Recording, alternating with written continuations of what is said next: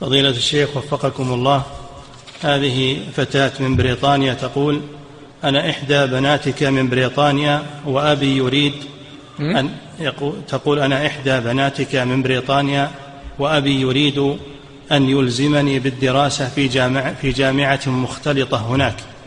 وقال إنني إذا لم يفعل فإنه سيقوم بتزويجي غصبا عني. هل يجوز لي أن أعصيه في ذلك ولا التزويج طيب هذا هذا طيب التزويج.